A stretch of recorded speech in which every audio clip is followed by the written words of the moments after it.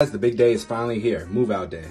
I got my pre-order in for the InMotion V13 and the Sherman S, but you know what? I had to sell pretty much everything that I own. All right, I'm still in the game, two bottles of soda. So that V13 is coming soon, right? Yes, come in, but where do you think you're going? Oh yeah, I forgot. This is part of the deal. All right, you can have it. You know what? Let's take it. Better get that V13. I'm not playing. Oh. All right, but better get the Master Pro. Okay. V13 and Sherman S. All right. All right. Gave you all I could. All right.